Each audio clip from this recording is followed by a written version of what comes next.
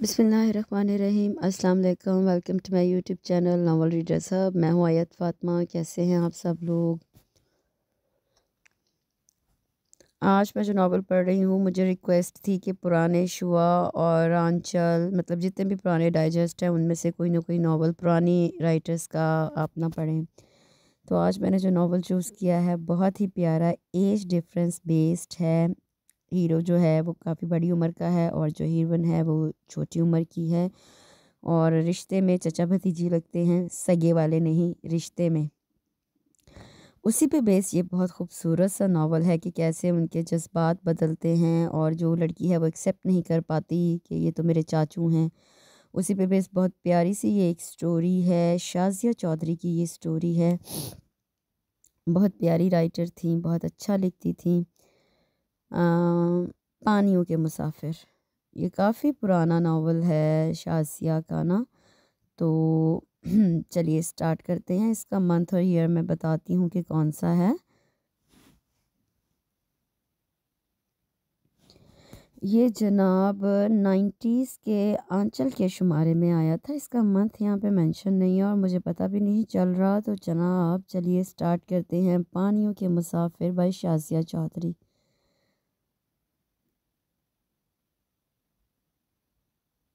अच्छा जी। जरताज, तुमने उसे बहुत सर पे चढ़ाया है। अब वो बच्ची नहीं रही सेकेंड ईयर का इम्तिहान देने वाली है। उसकी हरकतें देखो, आमना सख्त खफा नज़र आ रही थी। Professor Zartaj Siddiqui dressing table के सामने खड़े बाल बना रहे थे। सिया थ्री पीस सूट में दीदा जेब रंगों के इम्तजाज की सफ़ेद टाई में अपने पुरवकार सरापा समेत बहुत जच रहे थे। वह चौंतीस बरस के पुख्ता उम्र और संजीदा मिजाज मर्द थे। आप क्यों फ़िक्र करती हैं? भाभी उम्र के साथ खुद ही संभल जाएगी। वो भाभी के बिगड़े मूड की बहाली के लिए हल्के से मुस्कुराए। मुझे कोई उम्मीद नज़र नहीं आती। आमना मुकम्मल तौर पर फारीना से मायूस हो चुकी थी। दिन हो या रात हो, जब देखो इन चूज़ों के चोंचलों में लगी रहती है। भला बताओ, मुझे वो मुर्गी के बच्चे हैं ये उसके अपने? वो जल कर कह रही थी। उसकी फितरत ही प्यार करने वाली है। उनसे बहुत मुतासर हो गई है। भाभी की तनबी पर वो लब दबा कर मुस्कुरा दिए। उनके लहजे की बेफिक्री और बेतवजी पर आमना झल्ला गई। मगर कोई तुक भी हो अच्छा शौक पाला है। घर में गंद मचाने को ले आई, चार चूज़े भला घरों में पलते हैं ये। उन्हें जानवर पालने का कतई शौक नहीं था, मगर फारीना छोटे बच्चों की दीवानी थी। चाहे वो जानवरों के हों या इंसान के, दो हफ़्ते पहले उसने मासी से फरमाइश करके चार चूज़े पालने के लिए मंगवाए थे। जब से चूज़े उस घर में आए हैं, मोहतरमा खाना पीना पढ़ना लिखना सब भूल गई हैं। पेपर सर पे हैं और उसको चूज़ों के नाज नखरे उठाने से फुर्सत नहीं, आमना को तो रह रह कर उबाल उठ रहे थे। वाकई ये तो अच्छी बात नहीं, वो महज भाभी का दिल रखने को तफक्र से सर हिलाने लगे, वरना दर पर्दा फारीना को उनकी मुकम्मल हिमायत हासिल थी। तुम ही उसे ज़रा सख्ती से समझाओ, मेरी तो सुनती नहीं। उन्हें पसीजते देख कर आमना फ़ौरन बोली, हाय चाचू, देखिए ज़रा टीना को क्या हो गया है। कल से छींके मार रही है, इस नाम में अठारह साल स्या चमकदार बड़ी बड़ी आँखों वाली गुलाबी रंगत से में मासूमियत की जाजबियत लिए फारीना सफ़ेद परों जद चोंच वाले क्यूट से चूज़े के हमरा दाखिल हुई और बड़े पुरतशवीश अंदाज में हाथों में मताए हयात की तरह संभाले हुए चूज़े को जरताज के सामने करते हुए परेशानी से गोया हुई। क्या हो गया आपको टी आपकी टीना को जरताज ने उसके हाथ से चूज़ा लेकर उलट पलट कर चेकअप किया? जैसे ही उनके हाथ आया चूज़ा चूँ चूँ करके हाथ पैर चलाने लगा। मिला बच्चा मिला सोना चाँद, ये चाचू है ना? फारीना चूज़े के मुन्ने से सर पे हाथ फेरते हुए चमकारी, उसका अंदाज किसी ज़िम्मेदार माँ का साथ था जो अपनी ममता भरी आवाज़ में बच्चे को बहला रही हो। जरताज उसकी मासूमाना अदा पर धीरे से मुस्कुरा दिया। लगता है इसको ज़ुकाम हो गया। फारीना बड़ी रंजीदगी से चूज़े को देखकर अंदाज़ा लगा रही थी। बेवकूफ़ चूज़ों को ज़ुकाम नहीं हुआ करता। आमना अपनी बेटी की मासूमियत पर चिढ़ बोली मैं सही कह रही हूँ, मम्मी। और अब तो इसको टेम्परेचर भी हो रहा है फारीना ने नहायत हमदर्दी से चूज़े को देखा चलते चलते बैठ जाता है, कमज़ोरी इतनी हो गई है कि चला भी नहीं जाता। उसकी आवाज़ भर आने लगी आमना ने एक नज़र चूज़े को देखा फिर ठटक सी गई, ए लो, अरे भाई, ये अलामत चूज़ों की एक बीमारी रानी खेत की है वह तशवीश में पड़ गई। किसके खेत की? फारीना कुछ भी ना समझ सकी, हमारी बीमारी का नाम रानी खेत आमना ने बुरा मानकर तसी की। अब तो नहीं बचेगा। ये बीमारी जान लेकर छोड़ती है और वायरल होती है। अब सबको लग जाएगी उन्होंने उसे जैसे डराया। फारीना ने दहल कर कलेजे पर हाथ रखा। नहीं, उसकी आँखें फैल गई। उसने हरासा होकर चूजा जरताज के हाथ से छपट लिया। झपट कर अपने सीने से लगा लिया। लाएँ दे मेरी टीना को, कुछ नहीं होगा इंशाल्लाह, ये तो वैसे ही थोड़ी सुस्त हो रही है ना मेरी शहजादी? वो आँसू पीते हुए, चूज़े को हाथ से थपकते हुए अपने आप को तसली दे रही थी। जरताज आगे बढ़े और आस्ती से उसकी शानों के गिरद हार डालकर उसकी पुश थपथपाई। अरे, हमारी गुड़िया तो हौसला हारने लगी। भाई, कुछ नहीं होगा तुम्हारी टीना को। वो बुजुर्गाना अंदाज में बहला रहे थे, हम चूज़े को वेटनरी हॉस्पिटल लेकर, ले जाकर इंजेक्शन लगवा लगवा देंगे, बल्कि सभी को हिफाजती टीके लगवा देंगे। हाँ सच, चाचू आज ही चलते हैं ना, वो खुशी से उनके कंधे से लगकर मिन्नत करने लगी। उसके अंदाज से बेताबी की कैफियत आया थी, बेवकूफ़ों वाली बातें ना किया करो, आमना ने फ़ौर छिड़क दिया। जरताज को इसमत खाला के बेटे के वलीमे पर जाना है, बल्कि तुम भी तैयार हो जाओ, बच्चों की तैयारी तो खाक भी नहीं हो रही। जो पढ़ाई में हर्ज होने का खदशा हो दो घंटे में वापसी हो जाएगी। कौन सा खाना पीना होगा? बस दुल्हा दुल्हन से मिले सलामी दी बोतल पी और रिश्तेदारों से सलाम दुआ करके वापस चले आए। अब शादियों में पहले जैसी रौनक कहाँ? हम्म, मैं नहीं जा रही। फारीना ने घुंघराले खूबसूरत घने बालों वाले सर को चटक कर बेजारी ज़ाहिर की। ऐसा करो गुड़िया हमारे साथ वलीमे में चली चलो। वापसी पर गुजरते हुए तुम्हारे चूज़ों को भी डॉक्टर को दिखा देंगे। जरताज ने नया हल निकाला। हाँ ये ठीक है, उनकी तो के मुताबिक वो झटपट राज़ी हो गई, आमना ने शुक्र का कलमा पढ़ा और तैयार होने चल दी। फारीना तकरीब में बड़ी बेदिली से शरीक हुई थी, उसका ज़्यादातर ध्यान चूज़ों की तरफ़ लगा हुआ था, जो गाड़ी में एक गत्ते के बॉक्स में रखे हुए थे। हसब मामूल जब रिश्तेदार आपस में मिल बैठ के अपनी अपनी सुनाने बताने लगे तो उसमत खाला ने अपना पसंदीदा मौजू छेड़ दिया। ए, आमना, अपने देवर की बात चलाई कहीं सब खातन भी दिलचस्पी के आलम में इधर उधर मतवजा हो गई। आमना ने ठंडी सांस ली कहाँ खाला मानता ही नहीं, कहता है, भाभी, अभी इन चौंचलों की फुर्सत नहीं। संजीदगी से कुछ अमली काम कर लेने थे फिर देखी जाएगी शादी। शादी तो महज तफरी और दिल बहलावा है, और मैं फिल वक्त ये अयाशी अफोर्ड नहीं कर सकता। अभी मुझे रिसर्च का बहुत सा काम निपटाना है। लो भला पीएचडी तो कर ली है इकनॉमिक्स में यूनिवर्सिटी में प्रोफेसर लगे हुए हैं, और क्या करें? आमना जले दिल के फफोले फोड़ रही थी। और क्या असमत खाला ने चमक कर कहा, वो बड़ी मुद्दत से अपनी अजरा के लिए जरताज का रिश्ता सोचे हुए थी। खैर से चौंतीस बरस के हो गए हैं।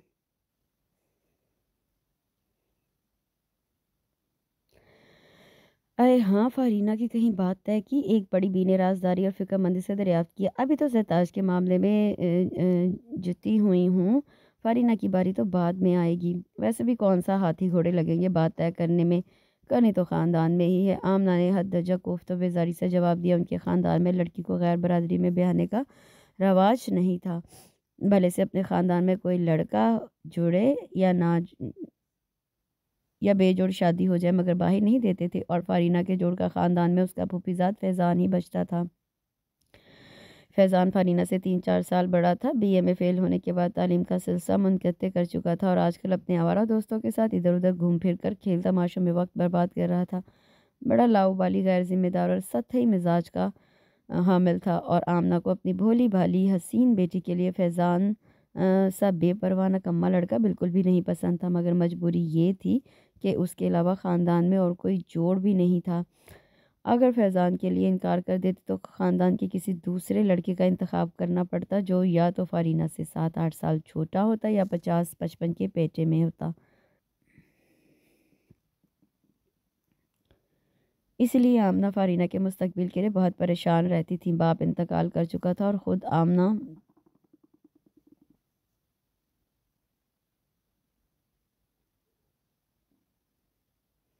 ब्लड कैंसर की मरीज़ा थी। ऐसे में जरताज का मज़बूत सहारा ना होता तो वो कब की हार चुकी होती? जरताज फारीना की अबू हैदर साहब का खालाजाद भाई था।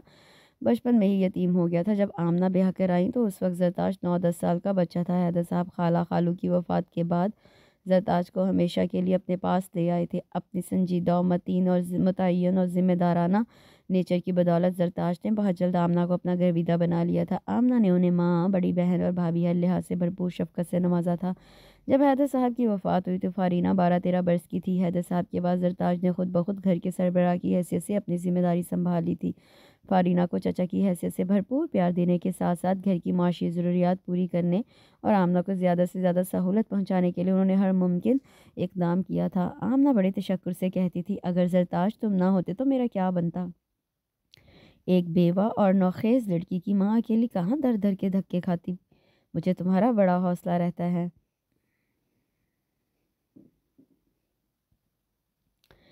एक ज़रूरी ऐलान सुनिए नाजरीन, हम हम फ़र्स्ट डिवीज़न में पास हो गए हैं। अब हम थर्ड ईयर में एडमिशन लेंगे। पूरे घर में वो नाचती फिर रही थी, उसकी मुसरत का कोई ठिकाना नहीं था। ओहो, क्या आफत आ गई है, घर सर पे उठा लिया है। आमना दिल ही दिल में सजदा शुक्र बजा लाई थी, मगर हंसबी आदत ऊपर से खपकी दिखा रही थी। क्या हो गया उसी लम्हे शोर सुनकर? जरताज अपने कमरे से निकले चाचू। ओ मेरे चाचू, फारीना एक नारा बुलंद करती हुई वाले हाना। जरताज से लिपट गई। मैंने फ़र्स्ट डिवीज़न ली है इंटर में। वो खुशी से दीवानी हुई जा रही थी। हाय वाकई भाई, बहुत बहुत मुबारक हो जरताज ने जोश से उसकी पुश थपथपाते हुए गले लगा लिया। मुसरत से फरीना का चेहरा गुलनार हुआ जा रहा था। सच्ची चाचू, मैं तो हैरान हूँ, भला किस तरह पास हो गई।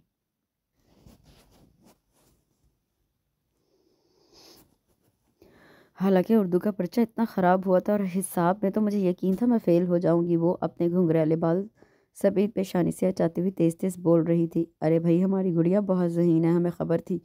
जताज ने प्यार से उसके गुलगू होते रुखसार सहलाए। मैं अभी मिठाई लेकर आता हूँ सब घरों में बांटना खुशी की खबर है। हाँ और मुझे आलिया और हीरा के घर भी जाना है खुद जाकर मिठाई दूँगी। फारीना ने फरमाइश की। ओके डियर गा, वो गाड़ी की चाबी निकालते हुए पोर्च की तरफ़ बढ़े थे। चाचू मैं भी आपके साथ चलूँगी। उसने अचानक इश्तियाक से कहा, कमाल करती हो भाई, वो मिठाई लेकर घर ही आएँगे, थोड़ा सब्र नहीं होता। आमना ने उसे लताड़ा व चावल चुनते हुए किसी गहरी सोच में गुम दोनों को देख रही थी। जरताज का स्मार्ट, दिलकश सरापा, हल्के नीले शलवार कुर्ते में बहुत नुमाया हो रहा था। गंदमी रंगत में सुर्खी सी घुली हुई थी, रोशन ब्राउन आँखों में वो दब्बेराना चमक थी अपने कसरती तनुमन जिसम की वजह से वो अपनी उम्र से भी सात आठ साल छोटे दिखाई देते थे। कितनी बार कहा है, दुपट्टा ओढ़ो करो, ओढ़ा करो, अब तुम बच्ची नहीं रही, सरताज गाड़ी लेकर चले गए तो उन्होंने मुँह बसूरे खड़ी फारीना को, डांटा फारीना को, दुपट्टा ओढ़ने की आदत नहीं थी। क्या है अम्मी, अब बंदा घर में भी पैक होकर फिरा करे, उसने नाक चढ़ाकर नापसंदीदगी ज़ाहिर की। बाहर जाती हूँ तो इतने बड़े दुपट्टे को तंबू की तरह तान कर निकलती हूँ ना, बस घर में माफ़ रखिए मुझे। जब लड़की बड़ी हो जाए तो अंदर बाहर हर जगह दुपट्टा ओढ़ना चाहिए, उन्होंने सलीके से समझाया। घर में किससे पर्दा करूँ? आप हैं और चाचू हैं, बस अपने ही तो हैं। वो घंघरियाली, घुंघरियाली लटों को कान से पीछे अड़सते हुए बेफिक्री से गोया हुई। मर्दों के सामने भी तो ढंग से ओढ़ना चाहिए, उन्होंने फहमाइश की। मर्द कौन भाई? वो तो ना महरमों के सामने ऐसे ख्याल रखना पड़ता है और हमारे घर में तो मेरे लिए कोई भी ना महरम नहीं। चाचू ही तो हैं और वो मेरे सगे सगे महरम हैं। क्यों? ना जाने क्या हुआ। अमना के एहसास में अजीब सी हलचल होने लगी। वो बगौर अपनी बेटी को देख रही थी। सब्ज और स्याह प्रिंट के लॉन के हल्के फुल्के कपड़े, जिसम का हिस्सा बनकर चिपक से गए थे। गोरा गुदास, भरा भरा जिसम, दुपट्टे की इल्लत से आज़ाद, एकदम बात नुमाया हो रहा था। वो उसकी क्यामत खेज उठान देकर दिल थाम कर रह गई। इतनी जल्दी बड़ी हो गई है ये। उनकी सांसों में तफक्र रचने लगा अपनी बीमारी, और किसी भी लम्हे कुछ हो जाने का डर उनके दिल को मुट्ठी में भींच रहा था। अगर खुदा न खास्ता मुझे कुछ हो गया तो उसकी देखभाल कौन करेगा? जरताज बहरहाल मर्द है, वो तो चौबीस घंटे घर में बैठ कर उसका ख्याल रखने से रहा, और फिर रोज़गार और काम भी तो है, उसका घर में एक औरत का वजूद बहुत ज़रूरी है। जरताज से संजीदगी से बात करूँगी कि वो अपनी शादी के लिए हाँ कर दे। वो सोचो मैं घिरी जाने कहाँ कहाँ जा पहुँची थी।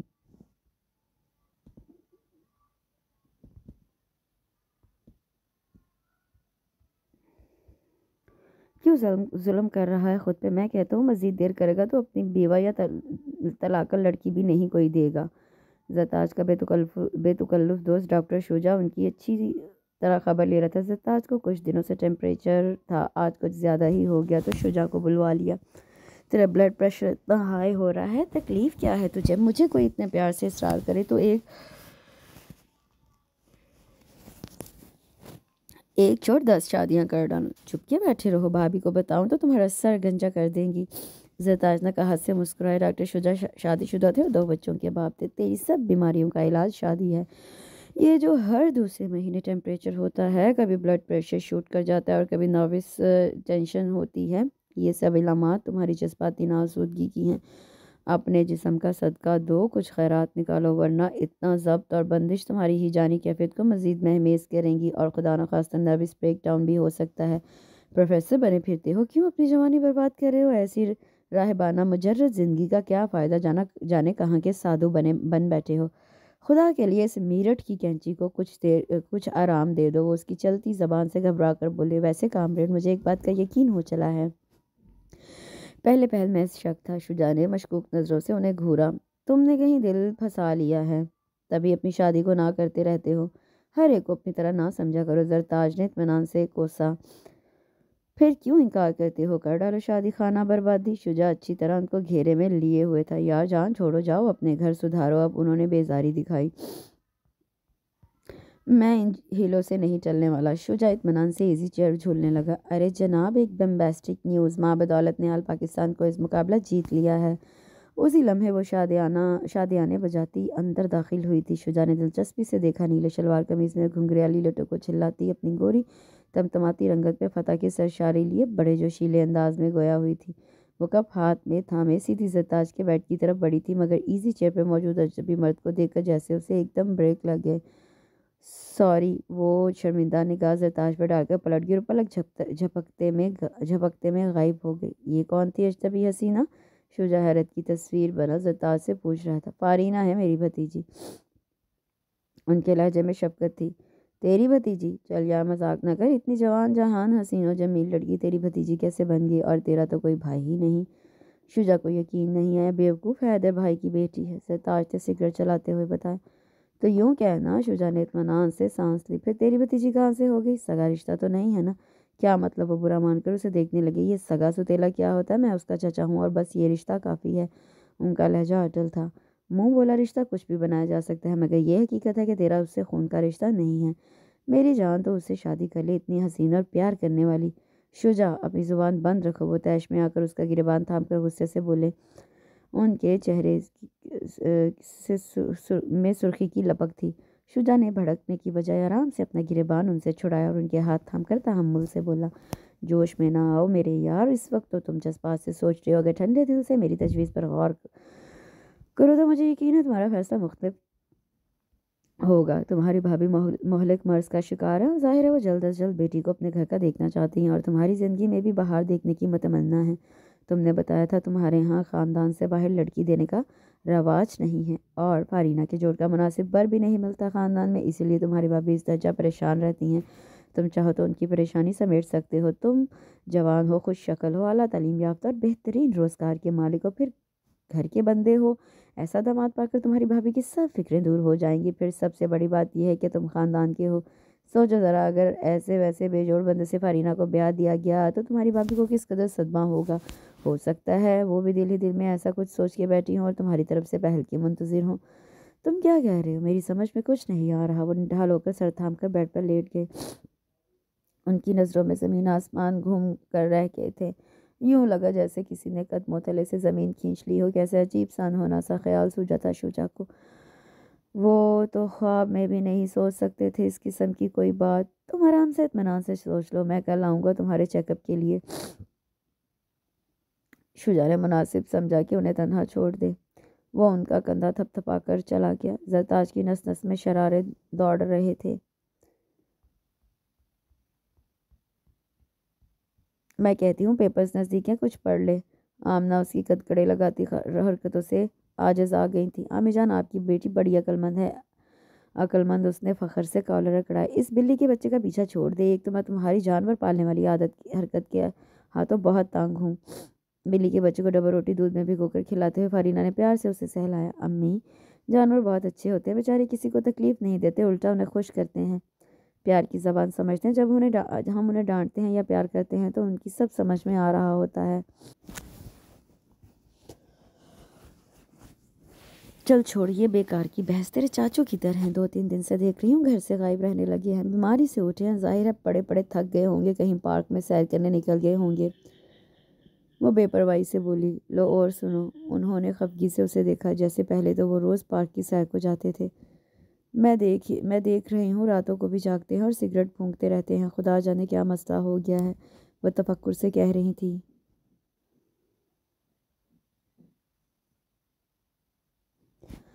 खुदा जाने क्या मसला हो गया वह तो कफर तफक्र से कह रही थी। फारीना बिल्ली के बच्चे के चौंचले उठाने में मसरूफ़ थी, उसने ज़्यादा ध्यान नहीं दिया, उसी लम्हे वो आ गए। लो बड़ी उम्र है तुम्हारी। अभी मैं ज़िक्र कर रही थी कहाँ रह गए थे। आमना उनके सते हुए चेहरे और सुख बेखाब आँखों को बेगौर दे, बगौर देखती हुई परेशानी से पूछ रही थी। शुजा के पास गया था। उन्होंने मुख्तसरन जवाब देकर अच, अचटती सी निगाह बिल्ली के बच्चे को हाथ में लिए फारीना पर डाली। हंस पे आदत दुपट्टे से बेनियासी और लॉन के चुस्त सर्द शलवार कमीज़ में घुंघरियाली लटों को गुलाबी चेहरे से हटाती बड़ी हसीन लग रही थी और उनकी नज़रें गैर इरादी तौर पर उसके सरापा सरापा को जाँच रही थी। यूँ जैसे पहली दफ़ा देखा हो, उन्हें एक झटका सा लगा, ये उनकी गुड़िया सी फारीना तो नहीं थी, ये तो एक जवान औरत का गुदराया हुआ भरपूर वजूद था। चाचू देखे मेरी मिशी कितनी बड़ी हो गई और बिल्ली को गोद में लेकर चहकते हुए उनके पास आई और बेतकल्फी से बाजू थाम कर बोली, उसकी मखरूती गुदास उंगलियों का लम्स जैसे करंट बनकर जरताज के जिसम में दौड़ गया। उन्होंने तेज़ी से बाजू छुड़ा लिया, यूँ लगा जैसे बिजली के नंगे तारों को छू लिया हो। पहले तो कभी ऐसा नहीं हुआ था। ऐसा साथ में ये कैसी तब्दीली आई थी? वो दूसरी निगाह उस पर ना डाल सके। सहमे सहमे बौखलाए कदमों से बमुश्किल तमाम अपनी तोानाइयाँ मुश्तमा करके अपने कमरे में आ गए।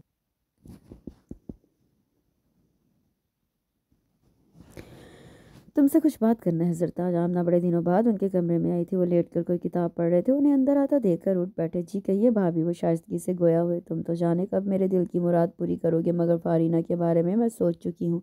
मेरी तबीयत बहुत ख़राब रहने लगी है और मैं चाहती हूँ अपनी आँखों के सामने इसे घर बार का होता देख लूँ। यूँ भी खैर से बीए में आ गई है, यही उम्र होती है शादी की। वो अजीब से तासरात लिए, उनकी अगली बात के मुंतजर थे।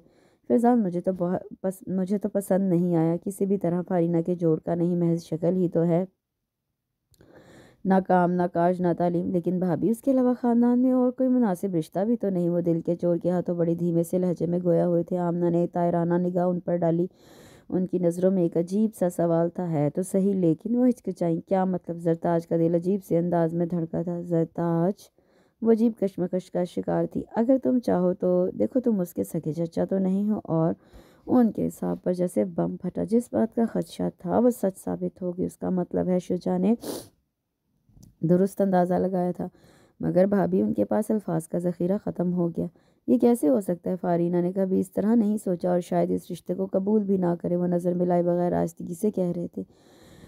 लड़कियों का जहन मोड़ना कौन सा मुश्किल होता है, उसको मैं समझा लूँगी। आमना के चेहरे पर रौनक फूटने लगी। तुम अपनी राय दो। भाभी, मैं क्या कह सकता हूँ? मुझे आपकी और फारीना की खुशियाँ जान से बढ़कर अज़ीज़ हैं। उनका लहजा भराया हुआ था। अम्मी, फारीना ने फलक शगाफ चीख मारी थी। अम्मी, खुदा के वास्ते कह दे, आप मज़ाक कर रही हैं। उसके असाब झंझना रहे थे। दिमाग माउफ हुआ जा रहा था। अम्मी, वो मेरे चचा हैं। मेरे बाप के बराबर हवाइयाँ उड़ते चेहरे फैली फैली खौफजदा आँखों लरसते हुए जिसम समेत वो हाल से बेहाल हुई जा रही थी। उसके होश गुम हो गए थे। मगर सगे चचा तो नहीं है बेटी आमना खिलाफ मामूल प्यार से समझा रही मगर मुझे यही बावर कर लिया गया है, इस रिश्ते से मैं उनके करीब हुई थी, वो हल्कान हो रही थी। अगर ऐसा कुछ था तो मुझे बचपन से ही ये तफरीक याद करा दी जाती। अब क्यों जुल्म कर रही हैं? वो बिलक पड़ी। मैं उन्हें इस किस तरह शोहर की हैसियत दे सकती हूँ? मैं मर जाऊँगी, अम्मी। उसका तड़पना बिलकना देखा नहीं जा रहा था, पर देखिए ओट में खड़े जरताज के दिल पर जैसे घुंसा लगा। तुम उन्हें दूसरी नज़र से देखोगी तो अम्मी खुदा के वास्ते। बस करें, मेरे लिए ये तस्वुर ही गुनाह के बराबर है, वो जैसे बरस पड़ी थी। मैं मर जाऊँगी, मगर उन्हें इस रूप में कबूल नहीं करूँगी। घिन आती है मुझे ये सोचते हुए भी जरताज का वजूद सुन होकर रह गया। तो फिर उस नकम में न खट्टू फैज़ान को कबूल करना होगा, क्योंकि तुम्हारी शादी बहरहाल ख़ानदान में ही होगी, आमना सख्ती से बोली। वो पैर पटक कर रह गई। इससे बेहतर है मैं शादी ही ना करूँ, शादी नहीं करोगी तो मुझे मर के भी चैन नसीब नहीं होगा, क्या यही चाहती हो तुम? उन्होंने नाराज़गी से कहा, अम्मी, वो तड़प के उनसे लिपट गई। बेटे, मेरी ज़िंदगी का क्या भरोसा? आज हूँ, कल नहीं होंगी, इतनी बड़ी दुनिया में अकेली कैसे जिएगी? यहाँ के लोग बहुत ालिमा नफ्स परस्त हैं बेटे, वो उसके सर पे हाथ फेरते हुए थपक कर रही थी। उसकी खामोश सिस्कियाँ उसके इकरार की गवाही दे रही थी। कितने दिन बीत गए, मगर दिल यकीन नहीं करता यूँ लगता है जैसे कल की बात हो। वो उजाड़ सूरत लिए मलगजे कपड़ों में खजा रसीदा पेड़ की तरह वीरान और बेरंग नज़र आ रही थी। अम्मी का स्वयं भी हो गया हती कि कल चालीसवा भी हो जाएगा, मुझ पर क्यामत बीत गई, मगर ये दुनिया, ये कायनात, जो कि तू कायम है इसी तरह रोज़ सूरज निकलता है और डूब जाता है। हवाएँ भी अपनी रफ्तार से चल रही हैं। मौसम के रंग भी वही थे। वही आसमान, वही शहरों, बाज़ारों की रौनकियाँ और वही मसरूफियात। कुछ भी तो नहीं बदला हर शख्स जहाँ थी वहाँ मौजूद थी। हाँ मगर एक ये मेरा दिल जिसकी दुनिया उजड़ गई है, ये घर जहाँ मातम के घोर अंधेरे छाए हुए हैं, उसने ठंडी सांस लेकर आँखों में जमा होने वाले पानी को बेदर्दी से उंगलियों से झटका था। कितने दिन हो गए हैं उस पानी को इन आँखों से बहते हुए, मगर ना पानी की रफ्तार में कमी आई है, ना आँखें इस तुगयानी पर एहतजाज करती हैं। वो थके थके असाब दिया मुश्किल तमाम उठकर बाहर इजरताज चालीसवें के इंतज़ाम में लगे हुए थे। जब से ये इंकशाफ, जब से इंकशाफ की मंजिल को छुआ था, दोनों एक दूसरे से नज़र लाने, नज़र मिलाने से कतराते थे। बहुत कम एक दूसरे के सामने आते थे, यूँ बच्चे बच्चे फिरते थे। जैसे किसी का कुछ लेकर भागे हों। अजब मुजरिमाना सी कैफियत का शिकार थे। इस शख्स को, जिसे मैंने कभी बाप की जगह देकर अपना प्यार निशावर किया था, उसको किस तरह अपने जीवन साथी के रूप में देख सकूँगी? अम्मी, ये आप मुझे किस मुसीबत में डाल गई? उसकी आँखें फिर से डब डबाने लगी, मरते दम। आखिरी हिचकी से पहले आमना ने दोनों को इल्तजा भरी नज़रों से देखते हुए एक दूसरे का साथ कबूल करने का वादा लिया था और अब अब कुछ ही वक्त जाता था जब इस वादे की तकमील होना थी और फारीना उसी लम्हे से खौफजदा हो रही थी। जब आइंदा ज़िंदगी का ख्याल आता, अपनी बूटियाँ नोचने को जी चाहता, काश मैं पैदा ही ना हो, होती या हुई थी। तो अम्मी, या अम्मी के साथ ही मर जाती, वो फूट फूट के रो दी चालीसवें के बाद ख़ानदान के लोगों ने निकाह के लिए दबाव डालना शुरू कर दिया। तुम लोगों का इस तरह बगैर रिश्ते के एक घर में रहना ठीक नहीं। जब तक आमना थी, तब दूसरी बात थी, मगर अब तुम लोगों का उस तरह रहना इखलाकी माशरती लिहाज से मायूब है। फिर मरहुमा की ख्वाहिश भी यही थी कि तुम दोनों एक बंधन में बन जाओ। एक बड़ी बी ने बड़े तदब्बर से दोनों को बुलवाकर समझाया था। फारीना निगाह झुकाए इस तरह अंदाज में उंगलियाँ मरोड़ रही थी। ताहम जरताज बिल्कुल खामोश थे। फारीना ने चोर निगाह से उनको देखा, उनके चेहरे पर पथरीली जामत कैफियत रकम थी। वह बहुत संजीदा और मतीन दिखाई दे रहे थे। उन पर नज़र पड़ते ही एक बार फिर फारीना का दिल, ज़िद्दी दिल बैन करने लगा। या खुदा, मैं किस तरह इनको कबूल करूँगी जिन्हें कल चाचू कहती थी उन्हें अब वो बेदर्दी से लब काट रही थी? नहीं, ये तस्वर ही रूह फरसा है। मुझे कुछ सोचना होगा, वो झुरझुरी लेकर रह गई। फिर जाने क्या सोचकर अगले रोज़ बड़ी मुद्दत बाद वो उनके कमरे में चली आई। जी आपसे एक बात करना है। उसे सर झुकाकर लर्जीता लहजे में कहा। जरताज ने पलट कर निकाह उस पर डाली। सियाली पास में दुपट्टा अच्छी तरह सर और शानों पे ओढ़े, सर चेहरा लिए। वो बड़ी मलूल नज़र आ रही थी।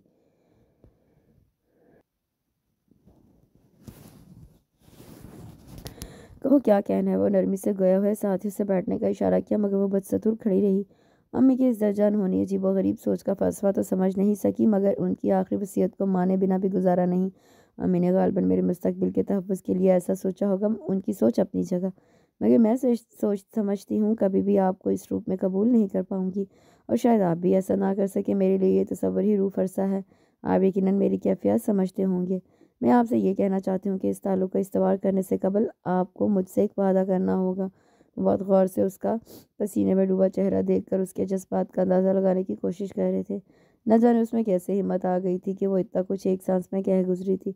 तुम कहो तुम्हारे जज्बात का एहतराम करना मेरा फ़र्ज़ है, वो नरमी से बोले। आप इस ताल्लुक़ को सिर्फ़ नाम की हद तक कायम रखेंगे, उसकी अजीब व गरीब शर्त पे वो हैरान रह गई। मैं अम्मी की वसीयत और ख़ानदान वालों की नज़रों में सुरखरू होने के लिए आपसे ताल्लुक़ जोड़ूँगी और घर के अंदर इस ताल्लुक़ का कोई इतलाक़ नहीं होगा। आपको इख्तियार है कि अपनी ज़िंदगी के साथी के लिए दूसरी औरत का इंतखब कर ले। मुझे सिर्फ़ आपके नाम का सहारा दरकार है। बाकी सब कुछ वैसा ही रहेगा, जैसा अब है। क्योंकि सच्ची बात यह है कि मुझमें, मुझसे मुनाफ्त नहीं होती। मैं आपको दूसरे रूप में कबूल नहीं कर पाऊँगी। उस बा, उसने बात मुकम्मल करके दजीज़ा निगाह उन पर डालकर उनके तासरात जानने चाहे। वो किसी गहरी सोच में गुम थे, पेशानी पर तफक्र की लकीरें बिछी हुई थीं। फिर वो सोचते कदमों से उठकर उसके सामने आए और बहुत हौले से उसका कंधा थपथपाकर फुहार से लहजे में मुखातिब हुए, तुम परेशान ना हो, सब कुछ वैसा ही रहेगा जैसा अब है, तुम अकेली नहीं हो और ना लावारिस हो। मैं तुम्हारी हिफाजत के लिए मौजूद हूँ, तुम बेफिक्र हो, अपनी पढ़ाई पर ध्यान दो।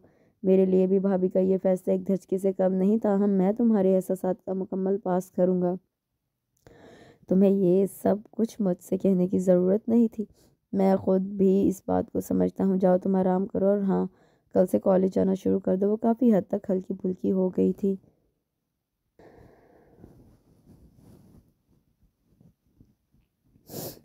फारीना, वो अपने कमरे में बैठी नोट्स बना रही थी, जब उनकी भारी संजीदा आवाज़ कान पड़ी। वो चौंक कर मुरीजत आज शादी के बाद आज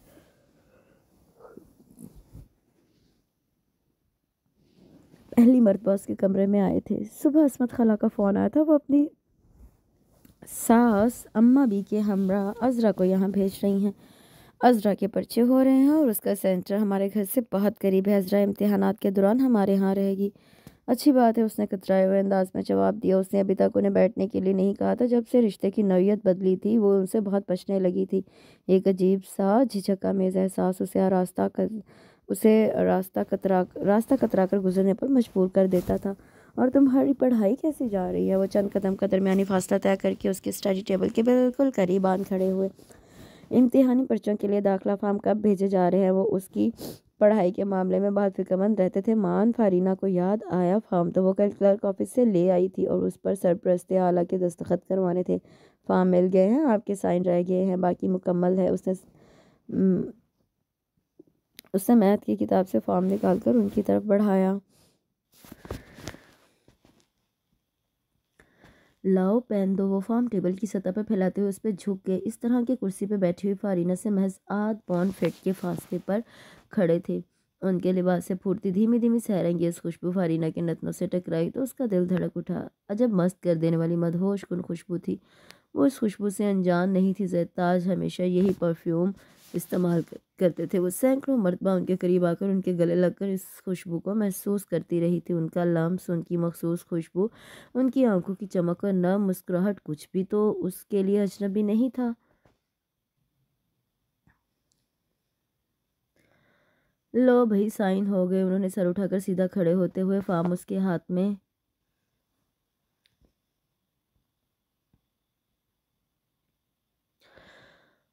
हाथ में थमाया तो वो चौंकी फारीना जरताज बगौर उसका चेहरा देख रहे थे। गालों के गुलाब मुरझाए हुए थे। आँखों में उदासी और चेहरे पे बेरंगी सी छलक रही थी। घुंघरियाली, जुल्फे, हंसपे, मामूल, शानों, गर्दन और गालों पर झूल रही थी। क्या बात है गुड़िया, कोई परेशानी है क्या? उन्होंने अपने साहब का अपना ईद भरे अंदाज में उसके बालों पर हाथ रखकर पूछा। कुछ नहीं, वो कुछ सिमट सी गई। कोई बात तो है, तुम इतनी खामोश क्यों रहने लगी हो? ना पहले की तरह फरमाइशें, ना बाहर जाने के लिए इसरार, ना शरारतें। इतनी गुमसुम क्यों हो गई हो वो बदसतूर नज़रें और सर झुकाए बैठी रही। उसका जिसम हौले हौले कांपने लगा था। उनका पुराना लबो लहजा जख्मों पर नमक छिड़क रहा था।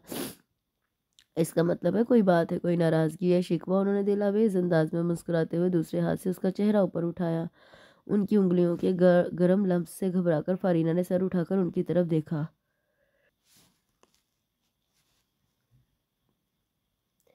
उसी लम्हे जरताज को अपने मौजूद अपने मौजूदा रिश्ते की नोयत का इदराक हुआ। ये गुर्बत बहुत महसूस होने लगी। उन्होंने बौखलाकर हाथ हटाया और पीछे हो गए।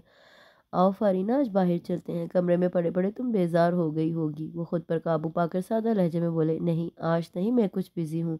फारीना ने पहले, फारीना ने बहाना बनाया और जरताज ने उसे दोबारा इसरार नहीं किया और आध कंधे उचकाकर बाहर निकल गए।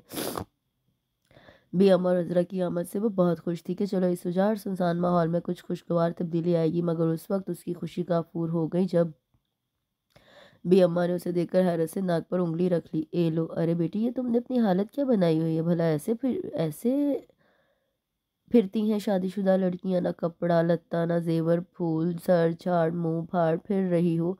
ए खुदा और खुदा ना खास्ता, क्या जरताज मियाँ तुम्हें खुश नहीं रखते? और उनके वावेला मचाने पर फारीना के हाथ पाँव फूल गए। कहरन और जबरन वो कमरे में जाकर तैयार होने लगी। गहरे नीले कामदार झिलमिलाते सूट में कुंदन का सेट पहनकर हल्का सा मेकअप करने के बाद जब वो दोबारा उनके सामने आई तो बगौर जायज़ा लेकर बी अम्मा को कुछ चैन पड़ा। जरताज उसकी गत बनने पर काफ़ी खासे महफूज, महजूज हो, हुए थे। इस तरह तैयार होकर वो वाकई मानो भरी ब्याहता लड़की दिखाई दे रही थी। रात को बड़ी अम्मा और अजरा के लिए सेट किया हुआ कमरा दिखाने को वो उन्हें लिए राहदारी में आई तो फारीना के कमरे के सामने से गुजरते हुए अजरा ने पूछ लिया, ये किसका कमरा है फरी? ये मेरा है। हाय, बड़ी अम्मा ने अपनी अनक दुरुस्त करते हुए उसे घूर कर ताजुब से देखा। तो क्या तुम सर ताज मियाँ के कमरे में नहीं होती हो? फारीना के चेहरे पर सुर्खी सी उभर आई, अजब तरह फंस गई थी। उसके कहने का मतलब है कि यहाँ पढ़ाई लिखाई करती है, मुझे रोशनी की आदत नहीं है, इसलिए पढ़ने के लिए कुछ देर को इस कमरे में चली आती है। जरताज ने बर वक्त मुदाखलत करके उसकी जान बचाई थी, ताहम अंदर से वो कुछ परेशान से हो चले थे। बड़ी अम्मा की जहाँ दीदा नज़रों से वो क्यों कर बच सकते? अच्छा अच्छा बड़ी अम्मा को कुछ इतमान हुआ। खैर, अब तो काफ़ी रात बीत गई है। आज ना किताबें लेकर बैठ जाना, जाओ अपने कमरे में आराम करो। यूँ भी लड़कियों का पढ़ना पढ़ाना शादी से पहले तक ही होता है। जब शादी होगी तो फिर पढ़ाई की अहमियत सानवी हो जाती है। खैर से, अब तुम घर वाली हो, अपने मियाँ का ख्याल रखा करो और देखो, मैं आइंदा तुम्हें यूँ ना देखो, खुद से बेपरवाह। बड़ी अम्मा ख़ानदान की बुज़ुर्ग थी, वो इस तरह के अहकाम लागू करने का हक रखती थी। फारीना चुपचाप सर झुकाए, सुनती रही सवाई जी जी करने के और कर भी क्या सकती थी? जाओ फिर खड़ी देख क्या रही हो, तुम्हारे मियाँ कमरे में जा चुके हैं, तुम भी जाओ। अरे, लड़कियाँ तो सो सो नाज उठाती हैं, अपने खाविंदों के, तुम कैसी ठुस सी लड़की हो? बड़ी अम्मा ने कुछ इस अंदाज में लताड़ा कि फारीना गड़कर रह गई, आफियत उसी में जाने के जरताज के कमरे में चली जाए। जरताज नाइट ड्रेस निकाल कर ड्रेसिंग रूम जाने के लिए मुड़े थे जब दहलीज में सर चुकाए उंगलियाँ मरोड़ती लरसती कामती गुम के आलम में खड़िया रास्ता पे रास्ता फारीना पर निगाह पड़ी। उसकी बेबसी की कैफियत महसूस करके उस बेसाख्ता मुस्कुरा दिया, आओ फारीना, मुझे इल्म है। बड़ी अम्मा की तलवार मारकर नज़रों से बचने के लिए तुम्हें ये कदम उठाना पड़ रहा है। कम अज़ कम जब तक वो मौजूद है, तब तक हमें ये ढोंग रचाना ही होगा, वरना पोल खुलने का खदशा है। बात ख़ानदान में फैल गई तो बहुत सुबकी होगी। लोग क्या क्या बातें बनाएँगे? इसलिए मस्तहत का तकाजा यही है कि कुछ रोज़ के लिए तुम ये जहमत गवारा कर लो। उनके संजीदा तर्ज अमल ने किसी हद तक फारीना को संभाला दिया। वो कमरे के अंदर आ गई। मगर आपको जो तकलीफ़ होगी वो उनकी प्राइवेसी में दखल अंदाजी पर बहुत खफत का शिकार थी, सर मसलसल झुका हुआ था। मुझे तकलीफ़, अरे नहीं, बल्कि एन राहत की बात होगी, बेसाख्ता उनके मुँह से निकल गया। फिर वो शर्मिंदा से हो गया और अपनी बात का तासर मिटाने को कपड़े चेंज करने के लिए ड्रेसिंग रूम में चले गए। वापस आए तो उसे किसी सोच में गुम बेड के किनारे बैठे हुए पाया। अफसोस, कमरे में सिर्फ़ एक ही बेड है। ऐसा करो, तुम कंबल लेकर सो जाओ, मैं कालीन पर चादर बिछा कर सो जाऊँगा। नहीं नहीं, वो जल्दी से खड़ी होगी। आप अपने बेड पर सोए, मैं नीचे सो जाऊँगी। जी नहीं, आपको ऊपर ही सोना होगा। उन्होंने उसके शानों पर बाजू डालकर दोबारा बेड पर बिठाया। चलो, ऐसा कहते हैं, कुछ बातें कर लेते हैं। मुझे तो अभी नींद नहीं आ रही। तुम भी जल्दी सोने की आदि नहीं हो। क्या ख्याल है? वो उससे कुछ फासले पर बैठते हुए सकून से उससे पूछ रहे थे। फारीना ने सर हिला दिया। अजरा, बी एड करी है तुम्हारा क्या इरादा है? बी ए के बाद क्या करोगी? मैं बस बी ए के बाद घर बैठूँगी। एक ज़माने में तुम्हारा इरादा था सी एस एस करने का। वो क्या हुआ? अब दिल नहीं जाता किताबों की शक्ल देखने को। चलो जैसी तुम्हारी मर्ज़ी, उन्होंने उसके उकताहट के पेश नज़र बात ख़त्म कर दी। फिर अचानक उन्हें कुछ याद आ गया। लाहौल वाला कुत इतनी अहम बात भूले हुए हूँ। वो खड़े हो गए और अलमारी की तरफ़ बढ़े। कुछ दिन पहले मैंने तुम्हारे लिए चंद चीज़ें ली थी। इतफाक ऐसा हुआ कि देने की नौबत नहीं आई। वो कुछ डब्बे हाथ में पकड़े दोबारा से उसके पास आ बैठे और उनको खोलने लगे। इसकी क्या ज़रूरत थी? वो आहिस्ता से बोले, डायमंड का नाजुक सा सेट और सब्ज बेश कीमत साड़ी थी। फारीना, अगर मैं फरमाइश करूँ इस सेट को पहन कर दिखाने की तो मान लोगी? उनके नम से मान भरे अंदाज पे वो क्यों ना मानती? खामोशी से कुंदन का सेट उतारने लगी। लीजिए, पहना दे। उसके साथ किसे कहने पर जरदाज कुछ हिचकिचा से गए। खुद पहनाने में एक अजीब सी झिझक हायल थी, ताहम उसकी बात नहीं टाली, कानों के टॉप्स फारीना ने खुद पहने थे। बाकी गले का लॉकेट और हाथ की अंगूठी वो पहनाने लगे। उसके ढेर सारे घुंघरियाले बाल, घने बाल समेट कर जब वो लॉकेट पहनाकर उसका हुक बंद कर रहे थे तो ना जाने किस तरह उनकी कुछ बलदार लटे, उनके गिरे बाँध के बटन में फंस गई। दोनों बेखबर थे वो तो जब लॉकेट का हुक बंद करके जरताज पीछे हटे तो एक झटके से फारीना उलझ कर उनसे टकराई। और उसका चेहरा उनके सीने से मस हो गया। ओ नो, वो दोनों उस गैर मतव टकराव से दम बखुद रह गए। फारीना को तो सारा खून कानों पर सिमट गालों पर सिमट आया था। आई एम सॉरी, अपनी गलती ना होते भी जरताज ने माजरत खाना नज़रों से उसे देखते हुए जल्दी से उसकी लटे अपने गिरबान के बटन से छुड़ाई।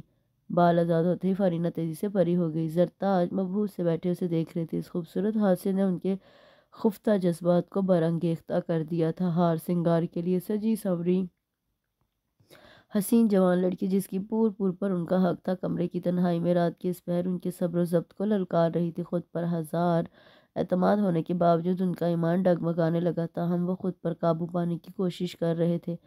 फारीना भी सहर जदा सी बैठी थी ज़िंदगी में। पहली मरतबा एक मर्द की हैसियत से उनके इतना करीब आई थी और ये गुर्बत शौला फिशा होने के साथ साथ एक अजीब सी कैफी, कैफ परवर एहसास को भी जन्म दे रही थी।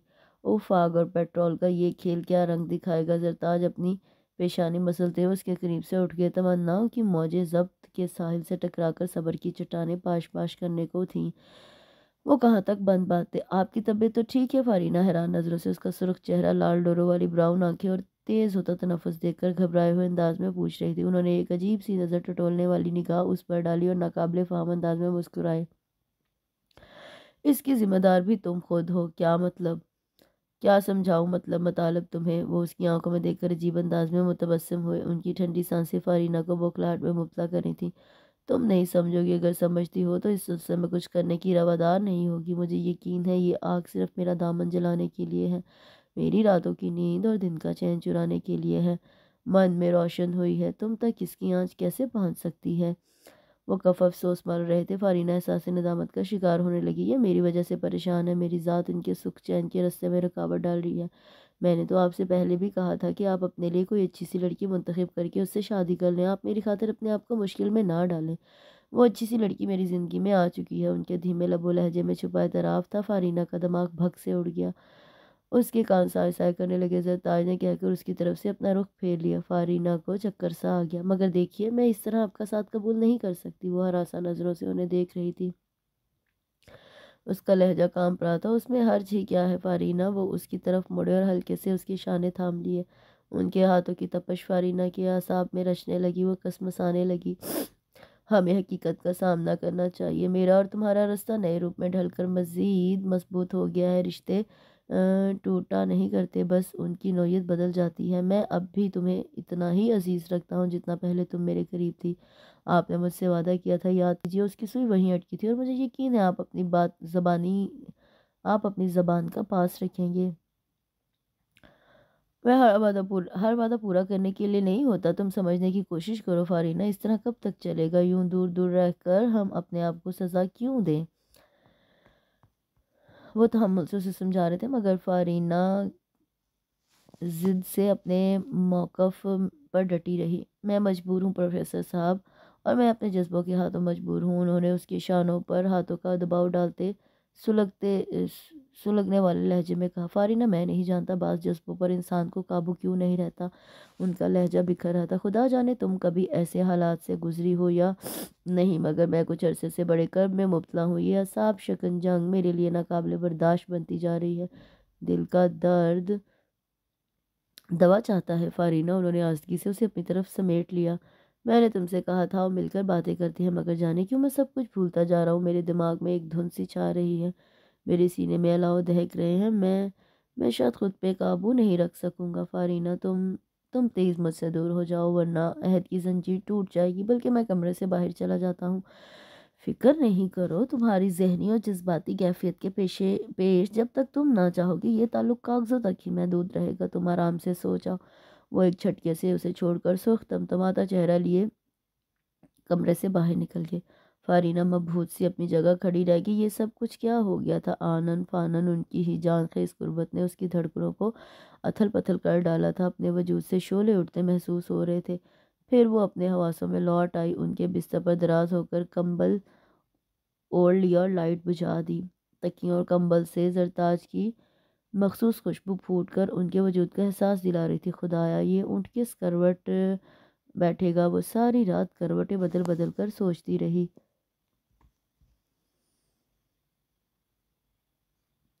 जरताज की यूनिवर्सिटी से वापसी का टाइम हो चला था और वो इर्द गिर्द से बेनियाज उनके कमरे में अम्मा भी के डर से वो दिन को भी ज़्यादातर उधर ही रहने लगी थी। बेड पर चित लेटी, छत के पंखे को घूरती हुई सोचो के भंवर में फड़फड़ा रही थी। लिबास जगह जगह से बेतरतीब हो रहा था, दुपट्टा जाने कहाँ रख के भूल गई थी। एक फितरी सी झिझक के जेर असर अब वो उनके सामने दुपट्टे का ख्याल रखती थी। अलबत्त उनकी गैर मौजूदगी में हसब आदत इधर उधर डालकर बेपर, बेफिक्री से रहा करती थी। उस वक्त भी यही हुआ था। हाफ़ स्लीव्स की लॉन की गहरी ब्राउन प्रिंटेड शर्ट और सफ़ेद चिकन की शलवार में वो बड़े घरेलू से अंदाज में बिस्तर पर दराज थी। वो ब्रीफ केस था। मैं थके थके अंदाज में कमरे में दाखिल हुए ब्रीफ केस साइड टेबल पर रखने के लिए मुड़े तो एकदम बेड पर दराज फारीना पर निगाह पड़ी। वो ठटक कर जहाँ थे वहीं रुक गए।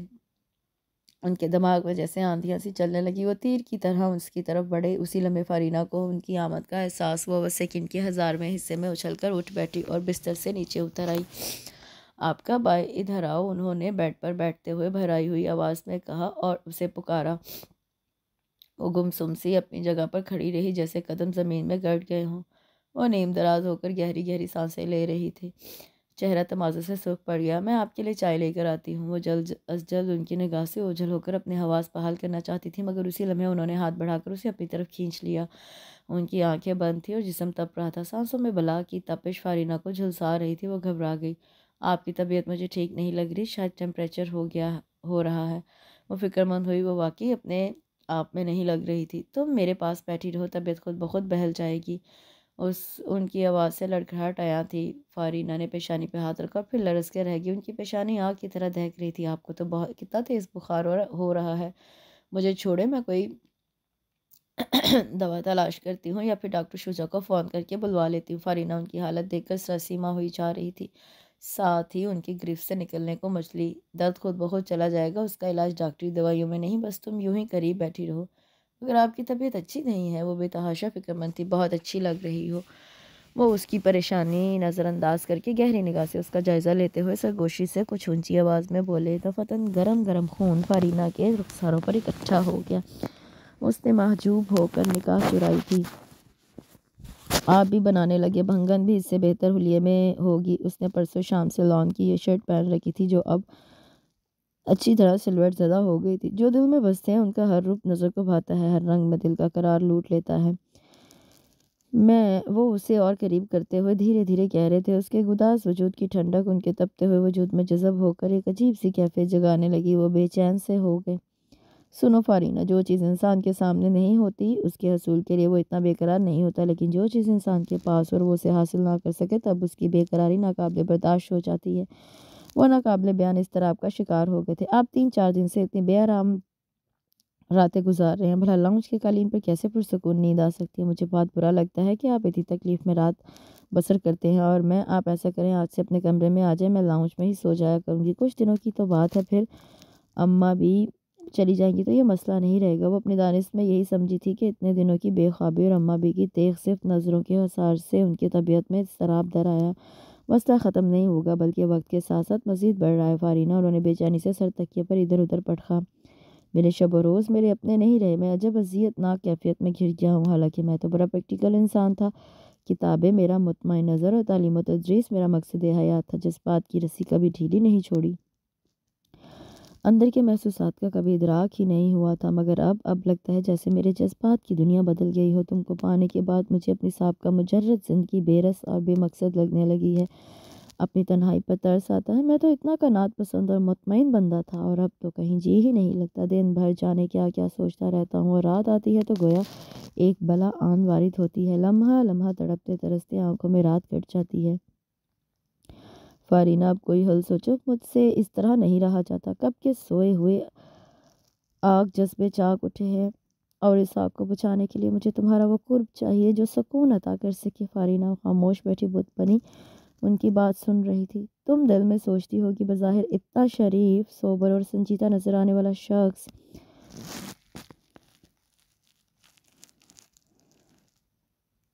किस कदर जज्बाती है। मगर फारीना, मेरी ख़ता है कि मैं बशर बनकर पैदा हुआ हूँ मुझसे मुझमें फ़रिश्तों की सफ़ात नहीं आ सकती। मेरी तो समझ में नहीं आता तुमसे क्या कहूँ, क्या बोलूँ। भला आईने को भी आईना दिखाने की ज़रूरत है।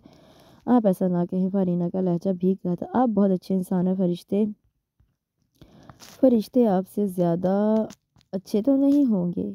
उसकी मासूमाना कीरतमंदी में वही पुरानी अपनायत अमेज़ रंगों की धनक नुमाया थी। मैंने कभी अपने आप को फरिश्ता नहीं समझा। फारीना, मैं आदमी हूँ, कमज़ोर, मजबूर और बेबस आदमी, वो कब से गोया हुए मैं भी गलतियाँ कर सकता हूँ, मुझसे भी गुनाह सर कर सकते हैं। फारीना, तुम मुझे इस जंजाल से बचा लो, मुझे बदहती की जंजीरों से आज़ाद कर दो, खुद से बेगाना होकर मजनूनाना अंदाज में उस पर झुके, उसने जल्दी से चेहरे का रुख मोड़ लिया। आपको क्या हो गया, प्रोफेसर साहब? मैं पागल हो गया हूँ, यही कहना चाह रही हूँ ना?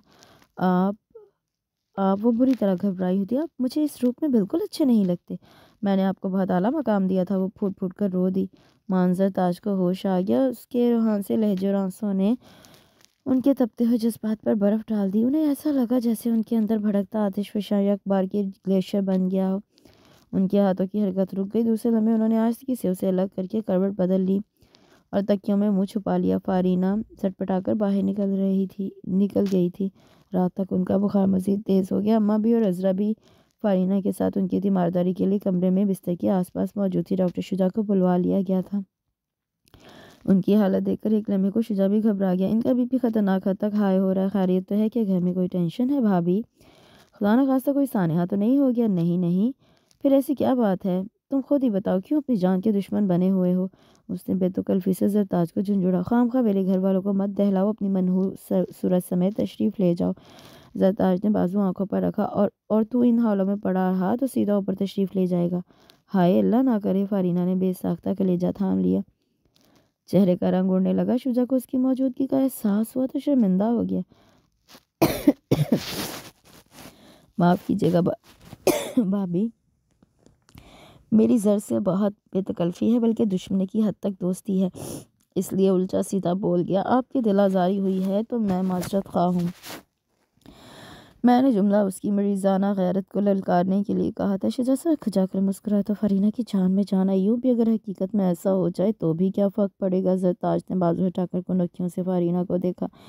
वो होंठ काटने लगी। बकवास नहीं कर रोए फिल्मी हीरो। शुजा ने एक था प्रसिद्ध की ये दवाई लिख दी है, इस्तेमाल ज़रूर करना। भाभी, अगर ये इनकार करे तो बेशक ज़बरदस्ती हज़रत के गले, हलक में उंडेल दीजिएगा। अल्लाह हाफिज़। आपके लिए सूप लाऊं? शुजा के जाने के बाद अजरा ने बड़ी यगानगत से उससे पूछा, नहीं, शुक्रिया। उन्होंने आज किसी इनकार में सर हिला आप प्लीज़ जाकर अपने पर्चे की तैयारी कीजिए, मैं ठीक हूँ। आप बीमार और हम बेच, और हम चैन की चैन उनकी बंसरी बजाए, ये कैसे हो सकता है? अजरा ने चमक कर अपना से कहा, लाए आपका सर दबा दूँ। वो बैठ के करीब कुर्सी पर बैठने लगी। अरे नहीं नहीं प्लीज़ ये जहमत ना कीजिए। उन्होंने घबरा कर हाथ उठाकर अजरा को रोक दिया। क्यों शर्मिंदा कर रही है? वो वजीद बोले। आप मेहनत भी तो इतनी करते हैं, स्टूडेंट्स को पढ़ाना, फिर मुकाले की तैयारी करना और घर बार देखना थक जाते होंगे। अजरा हमदर्दाना अंदाज में कह रही थी फारीना चुपचाप एक तरफ़ खड़ी थी ना जाने क्यों उसे हजरा अजरा की अपनायत आमेज़ मिजाज पर से चुप सी रही थी, उसे अच्छा नहीं लगा था। हम वो अपने एहसास को कंट्रोल करके बाहर निकलने लगी। चलो मेरे बच्चे, अब आराम करो। इंशाल्लाह जल्द शफा होगी। आ जाओ अजरा बेटी, कल तुम्हारा परिचय है। कुछ पढ़ लो। फारीना जरताज बेटे के पास मौजूद रहेगी। ये बच्ची, कहीं से तेल लाकर बच्चे के सर की मालिश कर दो या सर दबा दो। बड़ी अम्मा ने उठते फारीना को हिदायतनामा जारी किया। बड़ी अम्मा रजरा के जाने के बाद कमरे में सन्नाटा छा गया। जरताज ने नज़र घुमाकर देखा, वो गुमगू के आलम में खड़ी कमरे के दरमियान खड़ी थी, वो दोपहर के वाक़े के बाद बहुत हद तक ख़ुद पर काबू पा चुके थे। उन्हें एहसास हुआ था बग़ैर किसी कबूलियत के, उन्हें फारीना से इस किस्म की जज्बाती बातें और मुतालबा नहीं करना चाहिए। वो पहले ही इतनी बरगश्ता खातिर रहती थी, उसे मज़ीद परेशान करना, उस उस जुल्म के मतरद था। फिर वो इतनी मासूम फितरत की भोली भाली नाजुक सी लड़की थी, उसे ज़िंदगी की नज़ाकतों का क्या इलम? मुझे अफसोस है कि तुम्हें सोने के मामले में आज तकलीफ़ उठाना पड़ेगी। मेरी वजह से तुम बिस्तर पर नहीं सो सकोगी। ऐसा करो, मुझे ज़रा सा सहारा देकर उठा दो। मैं नीचे कालीन पर सो चाहता हूँ। तुम यहाँ बेड पर आ जाओ। दरअसल चक्कर इतने आ रहे हैं कि ख़ुद से उठने की हिम्मत नहीं है। उनके लहजे में बहुत माजरत थी। फारीना का दिल कटने लगा। आप मुझे और कितना शर्मिंदा करेंगे। आपके एहसानात मुझ पर अनगिनत है। कहाँ तक मेरे नारवा सलूक और मनमानियों को बर्दाश्त करते हुए वो सब्र ज़ब्त का सिंबल बने रहेंगे। वह एकदम टूट कर बेड की पट्टी पर सर रख कर ज़ारो कतार रो पड़ी। अरे फारीना फारीना प्लीज़ उन्होंने अपने दाएँ तरफ़ सरहाने के करीब सर ऊंधा सर ऊंधा गिराए धुआंधार रोती फारीना का सर थपथपा कर घबराए हुए अंदाज में पुकारा प्लीज़ फारीना, तुम्हारे आँसू मुझे गुनागार किए दे रहे हैं। उन्होंने आस्ती से उसका सर अपने सीने पर रख लिया। धीरे धीरे उसकी सिस्कियाँ मध्यम पड़ने लगी। मुझे अफसोस है कि मेरी जहनी प्रागंदगी की वजह से तुमको जहनियों पर, जहनी परेशानी उठाना पड़ी। मैं आइंदा तुमसे कुछ तलब नहीं करूँगा। आप जल्दी से ठीक हो जाएँ बस।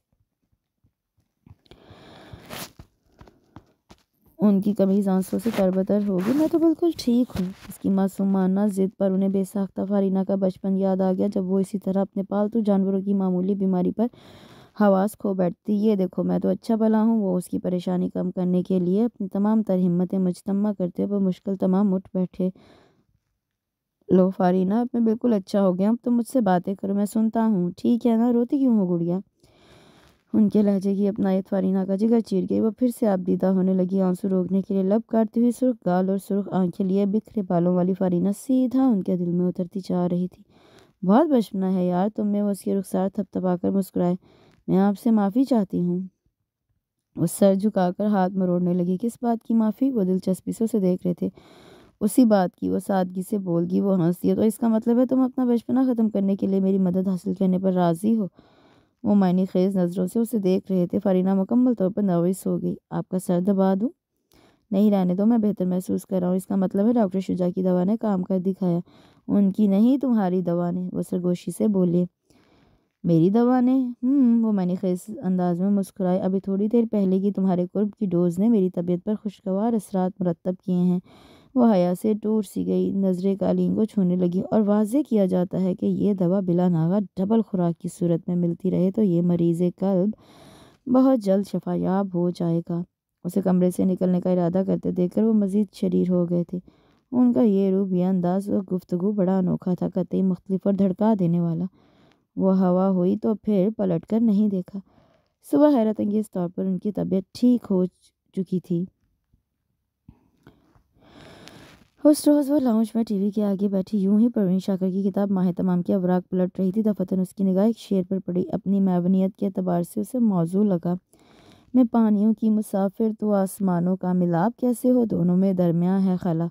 हाँ और यही खला दो तरफा ताल्लुकात की राह में हायल होकर रास्ते धुंधला रहा था। उसने किताब ठप करते हुए सोचा, अस्सलाम वालेकुम, क्या हो रहा है? उसी स्ना में जरताज उधर निकल आए वो दोपहर आए तो फारीना आलिया के साथ हिरा की मिजाज पुरसी को गई हुई थी। हिरा ख़राब तबीयत के बायस काफ़ी दिनों से कॉलेज नहीं आ रही थी। वापस आई तो पता चला जरताज किसी काम से जानने वाले के हाँ गए हैं। शाम तक लौटेंगे और उस वक्त वहीं से आ रहे थे। कुछ नहीं हुई, बस किताब देख रही थी। उसने जवाब दिया जरताज भाई, अब चाय पियेंगे उस लम्हा हजरा बोतल के जिन की तरह हाजिर हो गई वो आन की आन की आन उनके आगे पीछे फिर रही थी। फारीना की खाम खा तीवरियाँ चढ़ने लगी। शुक्रिया असरा मैं पी कर आ रहा हूँ अलबत् फारीना से पूछ लो। वो बाजू की आस्तीन ऊपर चढ़ाते हुए नरमी से गोया हुई। मैं इस वक्त चाय नहीं पीती, फारीना ने साफ़ इनकार कर दिया। आपके पेपर्स कब ख़त्म हो रहे हैं? सरताज ने टीवी के आगे बैठते हुए कंट्रोलर के ज़रिए आवाज़ ऊँची कर दी। असरा भी वहीं बैठ गई, जिसने फारीना को अच्छा खासा तपा दिया। वो जलकर उठ खड़ी हुई, इरादा किचन में जाने का था। दो पर्चे रह गए हैं। तुम्हारे कब शुरू हो रहे हैं? बीए के पेपर जरताज ने होंठ के बाती रुख मोड़े खड़ी फारीना पर निगाह डालकर सादगी से दरियाफ्त किया। जब शुरू होंगे तो पता चल ही जाएगा। उसने धीरे से सपाट अंदाज में जवाब दिया और बाहर निकल के ये बिना देखा कि उसकी बेरखी के मज़ाहर ने जरताज की आँखों के, आँखों में चमकते सितारों को बुझा दिया था।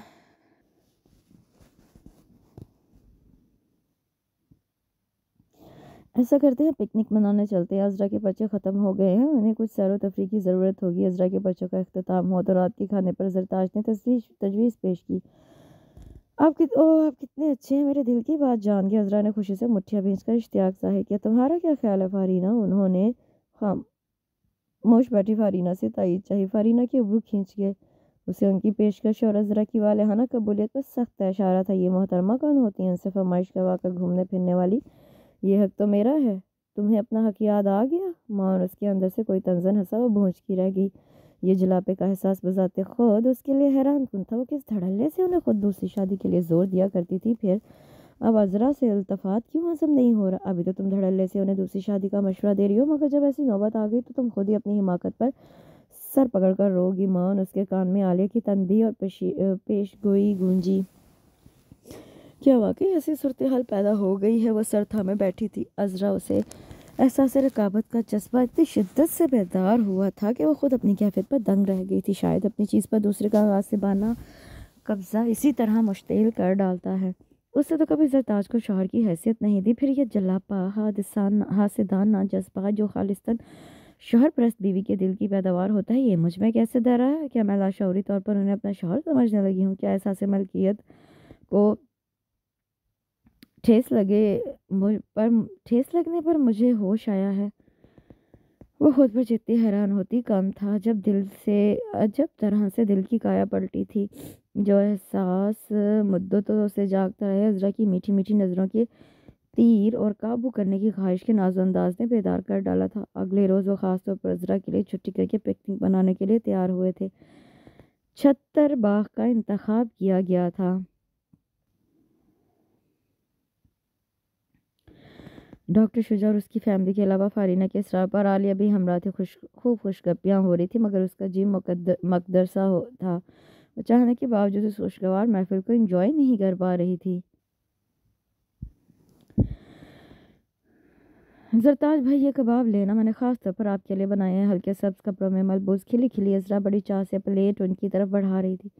फरीना की शरानों में खून उबलने लगा। हूँ मोहतरमा पर चाह रही हैं वह सुलग कर रह गई। अम्मी के ज़रिए उसे इतना तो इल्म हो चुका था कि असमत खाला अपनी बेटी अजरा के लिए सरताज की आस लगाए बैठी हैं। इस वक्त तो ये सुनकर उसे खुशी हुई थी, मगर अब सूरत हाल मुख्तलिफ़ थी। अब वो उसकी रकीब के तौर पर सामने आई थी। उसका जी चाह रहा था, उसका खून पी जाए।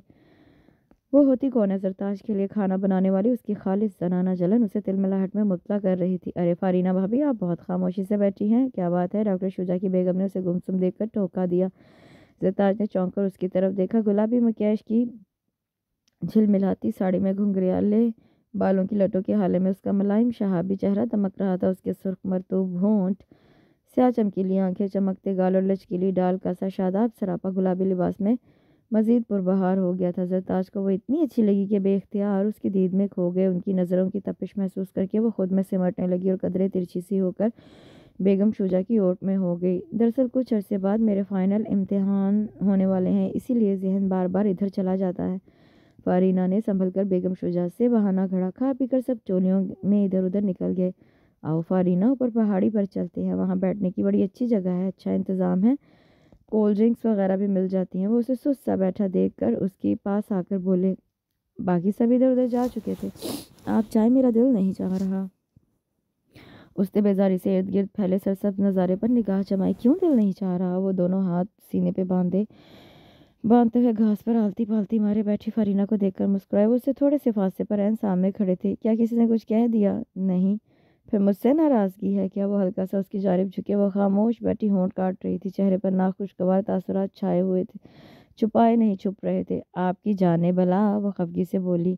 आपको क्या परवाह? मुझे ही तो परवाह होनी चाहिए। वो निचला लब होंठों तले दबाकर मुस्कुराए। उसके रूठे रूठे तेवर मज़ा दे रहे थे। आओ चलते हैं। देखो सब इधर उधर घूमने निकल गए हैं। उन्होंने फिर इसरार किया तो आप भी चले जाएँ। अजरा को साथ ले जाएँ। वो निगाह कतरा कर खुश्क लहजे में बोली। उन्होंने ठिठक कर उसकी शक्ल देखी। असरा तो गालिबन आलिया के साथ गई हैं। उन्होंने उसे सादगी से वजाहत की। आपको बहुत अफसोस हो रहा है तो मैं बुला लाती हूँ वो तिल मिलाकर, कह गई। नहीं, इसकी ज़रूरत नहीं, मगर तुम अपना मूड तो ठीक करो, इतने सरसब्ज खुशबूदार माहौल में उदास रहना अच्छी बात तो नहीं। उन्होंने बच्चों की तरह बहलाते हुए झुककर उसका हाथ थाम कर उठाया। मेरा मूड नहीं है। मूड भी बन जाएगा, तुम आओ तो सही। वो उसका हाथ अपनी गिरफ्त में लेकर सरसब्ज ढलानों की तरफ़ चल पड़े। देखो कितनी तरोताज़ा फ़िज़ा है। वो उसे चेयर अप कर रहे थे। मुझे कुछ भी नहीं अच्छा लग रहा। क्या मेरा साथ बुरा लग रहा है? वो एकदम संजीदा हो गए। फारीना ने कोई जवाब, फारीना से कोई जवाब ना बन पड़ा तो अपना हाथ छुड़ाने लगी।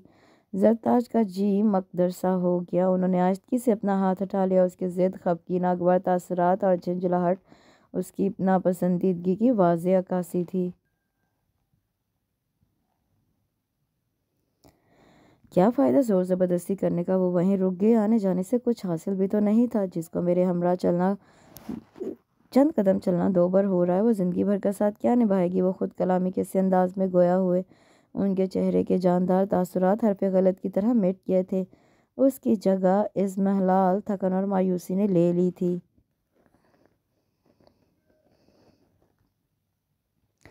अरे जरताज भाई, आप इधर ही रुक गए। ऊपर आइए ना, उधर पुल क्रॉस करके ऊपर जाने के लिए सीढ़ियाँ बनी हुई हैं। हम तो ऊपर तक सब नज़ारा करके आए हैं।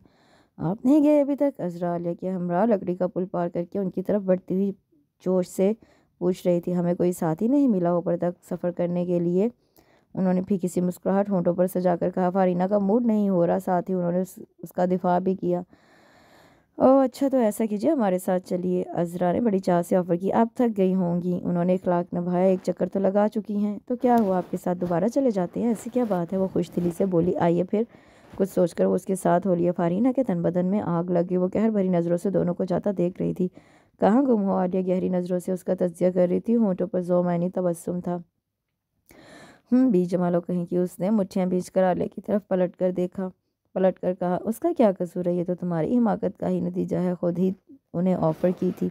दूसरी लड़की का इंतखब करने की। अब वो ऐसा कर गुजरे हैं तो तुम्हें बुरा क्यों लग रहा है? बकौल तुम्हारे तुम्हारा तो उनसे सिर्फ़ कागज़ का ताल्लुक है फारीना खुद पर लानत मलामत भेज रही थी। वो मर्द हैं, उन्हें अपनी ज़िंदगी का अमली साथी चाहिए। वो किसी का भी इंतखब कर सकते हैं। आलिया के तीर निशाने पर लग रहे थे, बस करो आलिया, मुझे पहले ही रोना आ रहा है। वो रोहानसी हो गई। अब रोने से क्या हासिल? आलिया बेरहमी से गोया हुई उस वक्त फारीना को आईना दिखाने की ज़रूरत थी। वो सचमुच रो रो पड़ी। कैसे उस चहीती के साथ चल पड़े? वो दांत पीस रही थी। भाई, उनकी मर्ज़ी, जो साथ चलने पर आमादा होगा, उसको हमरा लेंगे। आलिया बरजस्तगी से बोली अच्छा अब ये रोना धोना बंद करो। आखिरकार आलिया को उस पर तरस आ गया। उसके पास आकर उसकी पुश थपथपाई और फिर से समझाने लगी, अभी भी बाजी तुम्हारे हाथ में है। नेक सलूक और ख़िदमत अखलास से उनका दिल जीत लो। उन्हें बाबर कराओ कि तुम तुमको उनकी ज़रूरत है। उनकी चाह तुम्हारे दिल में है। ठीक है, फारीना ने आँसू पूछते हुए अज़म किया, मगर उसका ये अज़म पाया तकमील को ना पहुँच सका। उस दिन के बाद जरताज इतना बददिल हुए कि उससे कोई तो रखना छोड़ दिया। अब वो अपनी तालीम तदरीस में मसरूफियात में गुम रहते। अजरा के इम्तहान ख़त्म होने के बाद वो अम्मा भी समेत रुखसत होगी उनके जाते ही दोनों को रिलीफ मिल गई। फारीना अपने पहले वाले कमरे में वापस आ गई थी। दोनों के अपने अपने मामूलात थे, मगर ना जाने क्यों ये सूरत हाल फारीना से बर्दाश्त नहीं हो रही थी। पढ़ाई से जीव चाट हो गया था। यूँ ही बुलाई बुलाई एक कमरे से दूसरे कमरे में चकराती फिरती। कभी किसी काम से उनके कमरे में आती तो मुख्तसरन बात करने के बाद किताब अपने चेहरे के आगे रख लेते, वो तोहन करहन वापस पलट आती। उफ, मुझसे इस तरह बेजार हो गए हैं। उनके अल्तफ़ात की आदि थी। अब उन्होंने जो बेतवजी और बेनियाजी का सलूक बरता था उसके दिल पर चोट पड़ी थी। इतने खफा हैं कि ढंग से बोलने के भी रवादार नहीं। उसे अपनी दुनिया तारीख नज़र आने लगी, अगर इस अजरा इस घर में आ गई तो मेरा मकाम क्या होगा? वह सोच कर वह सोच कर ही काम पूछी, मैं किस हैसियत से यहाँ रहूँगी? कहाँ जाऊँगी? उसने आज तक उनके सलूक की पजीराई नहीं की थी, मगर आज उसका दिल भी उन्हीं की तरह दुखा हुआ था। उन्हें उसी तरह मेरा रवैया नागवार गुजरा होगा। वो उन पर बेरुखी की चिंगारियाँ बरसाती रही थी और उनका दिल भी तो पत्थर का नहीं था। मैं आपकी बेरुखी और ख़ुद से बेनियाजी नहीं सह सकती। वो रात की तारीकी में खुद से एतराफ़ करती हुई सिसक पड़ी। वो कब तक उनका दिल दुखाती रहेगी? उन्हें नारसाई के करब से दो चार करती रहेगी। वो सचमुच उसके खलूस के से तालिब हैं तभी तो उसकी हर कजदाई सह लेते हैं। रात की किसी पहर से शदीद प्यास महसूस हुई तो वो उठकर किचन में चली आई। पानी पीकर किचन से निकलने की को थी, जब बरामदे में सिगरेट के शोले ने उसकी तवज्जो अपनी जानब मबजूल कर ली। एक लम्हे को तो उसे अच्छा खासा खौफ महसूस हुआ, फिर हिम्मत करके बरामदे में निकली। रात का सन्नाटा बोल रहा था। चाँद की मलगजी रोशनी इर्द गिर्द फैली हुई थी और उस बोलते सन्नाटे में वो बेकरारी से इधर उधर टहलते हुए बेतहाशा सिगरेट फूंक रहे थे। वो आस्ती से चलती हुई उनके सामने आ गई। तुम अभी तक नहीं सोई? उन्होंने चौंक कर उसकी तरफ़ देखा।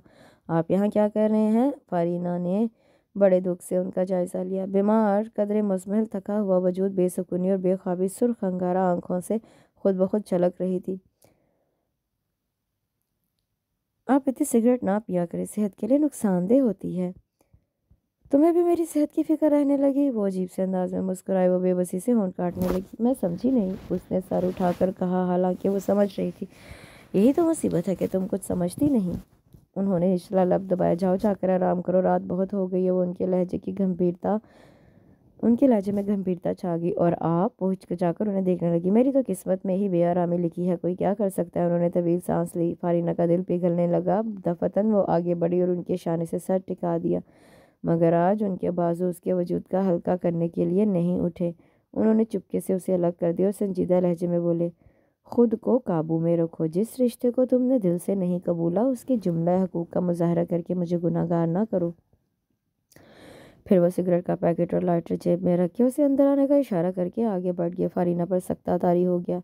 गोया पांसा पलट गया था। उनके खुश्क और बेतासर लबो लहजे ने उसे बहुत दुख दिया था। वो खोए खोए अंदाज में अपने कमरे में पलट आई। जरताज का बेमहर सलूक का सांप पर हथौड़े की तरह बरस रहा था। सारी रात वो बेचैन और बेकरार रही। फारीना खाने के बाद मेरे कमरे में आना कुछ बात करना है। उस रात खाना खाकर वो सपाट लहजे में कहते हुए अंदर चले गए। वो सोचों में खो गई, जाने क्या कहना है? कहीं अजरा नवाला उसके हलक में अटकने लगा, खुदाया मेरा क्या बनेगा? पढ़ाई के मामले में मैं वो बिल्कुल कोरी हो गई थी। मारे बांधे बीए करके पर्चे दिए थे, बस डिग्री के लिए। पास पास होने से कोई दिलचस्पी नहीं रही। पास फेल होने से कोई दिलचस्पी नहीं रही थी। अगर उन्होंने इस कागज़ी रिश्ते को निभाने से इनकार कर दिया तो मेरा ठिकाना कहाँ होगा? इतनी तालीम भी नहीं कि उसके बलबूते पर अच्छी जॉब मिल सके, पढ़ने लिखने वाला मुलाजमत के हसूल के ख्वाब जैसे मिट्टी में मिल गए हैं। कुछ करने को जी ही नहीं चाहता। वो मुख्तलिफ़ अंदेशों में घिरी उनके कमरे में आई। वो किताब पढ़ रहे थे, उसे देखकर किताब साइड टेबल पर रख दी और बैठने का इशारा किया। इसमत खाला ने अजरा के रिश्ते के सिलसिले में आज मुझे बिलवाया था। उन्होंने छूटते ही बताया फारीना ने दिल पर हाथ रख लिया, इलाही खैर। तो क्या आपने हाँ कर दी? उसने उड़े उड़े हवास समेटने की कोशिश की। हाँ ज़ाहिर और हो भी क्या सकता था। हमारे यहाँ ख़ानदान से बाहर लड़की बहने का रवाज नहीं है, उन्होंने तवील सांस ली। क्या फारीना के सर छत तान गिरी? ये क्या हो गया था? पत्थर के बुत की तरह साकत और सामत रह गई। अगर आपको यही करना था तो पहले क्यों ना कर डाला, मुझसे बंधन क्यों बांधा सीधा सीधा अजरा को ब्याह लाते। वो दोनों हाथों में चेहरा छुपाकर बिलक कर बिलक पड़ी। क्या मैं हिमाकत है फारीना वो हक्का बक्का रह गया। भाई, ये क्या बचकाना पन है? मैं अजरा से क्यों कर ब्याह रचाता? उन्होंने नागवारी से उसे टोका। तो फिर अब कैसे ख्याल आ गया? वो सिरे से पाँव, वो सर से पाँव तक झुलस के। लाहौर वाला कुत उन्होंने बुरा सा मुँह बनाया। अजरा की शादी फैज़ान से हो रही है। असमत खाला ने उस सिलसिले में मुझसे राय तलब की थी। फैज़ान अब काफ़ी सुधर गया और अपने वालिद के साथ स्टोर पर बैठने लगा है। बहुत अच्छा ना, सही, मगर बहरहाल ख़ानदान में अजरा को उससे मौजू रिश्ता नहीं मिल सकता। यही समझाकर मैंने असमत खाला को हाँ करने का मशवरा दिया था, वो भिन्ना कर बता रहे थे। हाय, उसने हवक बंद हवक बंद कर सर उठाया। तो आप अजरा से शादी नहीं कर रहे? उसके बहते आँसू यकलख्त रुक गए। सरताज ने बगौर उसकी शक्ल देखी। शहाबी गालों पर बहते आंसुओं की लकीर मोतियों की तरह चमक रही थी। शब्द नमी आँखों में सरखुशी के रंग थे। किस कदर अहमक है आप? मेरा भी इतना दिमाग ख़राब नहीं हुआ। एक ही करके पछता रहे हैं। उन्होंने बुरा मानकर वजाहत की। उसकी हासिदाना कैफियत अजरा के लिए जिला पर दूसरी शादी के मामले में उसकी इस दर्जा फ़िक्रमंदी ने जरताज के मिजाज पर खुशगवार असरात मुरतब किए थे। उन्हें उसका ये अंदाज़ अच्छा लगा। वैसे मैं ऐसा कर भी सकता हूँ भाई, तुमने खुद ही तो वादा लिया था। वो किताब की अवराक उलटते हुए बेपरवाही से बोले, वो धक से रहेगी। जी नहीं, आप ऐसा नहीं करेंगे। क्यों? वो चैम बचैं हुए। आखिर मुझे भी अपनी इस्तवाजी ज़िंदगी गुजारने का इख्तियार हासिल है। वो सर झुकाकर उंगलियाँ मरोड़ने लगी। मेरी वजह से आपको बहुत तकलीफ़ उठाना पड़ी। मुझे अब भी आपसे शिकवा है। आपने मेरी तमाम गुस्ताखियाँ बर्दाश्त की और कुछ नहीं कहा। समझाया भी नहीं। उसकी आँखें फिर से छलकने लगीं। समझाया उन्हें जाता है जो समझने की ख्वाहिश रखते रखते हैं। फारीना को अफसोस हुआ कि आज उसके आँसू भी तासीर खो रहे थे, उन्हें कुछ परवाह ही नहीं। वो मज़े से किताब पढ़ रहे थे। आप मुझसे नाराज़ हैं? नाराज़गी का क्या हक पहुँचता है मुझे? नज़र बदसतूर किताब थी क्यों नहीं? आपको सब हकूक़ हासिल हैं। आखिरकार उसने सर चुका कर आंचल मरोड़ते हुए कहा, उन्होंने किताब दोबारा बंद करके गहरी निगाह उस पर डाली, फिर चुपते हुए अंदाज में बोले ओहो, बड़ी जल्दी ख्याल आ गया। इतने खफा हैं कि ढंग से बोलने के रवादार भी नहीं, उसे रोना आने लगा। ये तुम कह रही हो, जालिम लड़की? तुम्हें खबर ही नहीं, तुमने कभी मेरे दिल में झाँक कर देखा? इस अरसा मैंने, मैं तुम, इस अरसे में तुमने मुझे कितना सताया? कभी तुमने सोचा मैं रह रहकर बीमार क्यों पड़ता था? तुमसे क्या चाहता था? तुम्हारे बददिल कर देने वाले रवैये मुझ पर किस तरह गिरा गुजरते थे? कभी कोई दर्द तुम्हारे दिल में जागा कभी तुमने अंदाज़ा लगाया कि मैं किस कर्ब से गुजर रहा हूँ? मुझे किस किस्म के इलाज की ज़रूरत है? ये कागज़ी ताल्लुक़ किस तरह? मेरे ईमान, मेरी क़वत इरादी और हौसले का इम्तहान बनकर अंदर से तोड़ फोड़ कर रहा तोड़ फोड़ कर रहा है। नहीं, बल्कि तुम अला दर्जे की बेहसी से मेरे जज्बाती कैफियत पर बर्फ़ डाल दिया करती थी। कभी तुम्हें मेरे दिल का ख्याल आया? एक मकाना सी बात के पीछे तुमने मुझे असाबी जंग में मुतला किए रखा। मेरी रातें बेख्वाब और दिन बेताब गुजरते रहे। कभी तुमने परवाह की? मेरी तन्हाई के सुलगते मंदिर में डूबकर मुझे भंवर से बचाने की कोशिश की, कभी नहीं। प्लीज़ मुझे माफ़ कर दीजिए। वो मलामत से चूर चूर थी। एक शर्त पर माफ़ कर सकता हूँ। उन्होंने पहलू बदल कर बिस्तर पर बैठते हुए उसके सिम देख कर भारी लहजे में कहा, क्या वो बेताबा ना बोली? इस बेच, उस बेचारी पर तो उन्हें राज़ी करने का भूत सवार था। मान जाओ कि मेरे तुम्हारे दरमियान का रिश्ता असल सच्चा और मज़बूत है। उनके लहजे में तहकुम था। हमेशा के लिए मेरी हो जाओ फारीना। दोनों की निगाहें एक दूसरे से मिली और जाने कैसे कैसे अफसाना कह गई। फारीना का दिल गोया। कनपट्टी के पास धड़कने लगा। वो सुर्ख चेहरा लिए। निगाह झुकाकर उनके पास चली आई। आस्तगी से नज़दीक बैठते हुए उसने बेख्तियार अपने बर्फ़ से हाथ उनके हाथों पर रख दिए। आप ही की तो हूँ। इनायत, करम, शुक्रिया, मेहरबानी। वो एक बार की हल्के फुल्के हो गए। उनकी सारी नकाहत और बीमारी जाती रही। दिल खुशियों के समंदर में हिचकोले खाने लगा। बहुत खूबसूरत से तबस्सुम समेत उन्होंने उसके नरम सफ़ेद हाथों को अपने हाथों की गर्मी बख्श दी। आखिरकार पानियों के मुसाफिर और आसमानों के मकीन का मिलाप हो गया था।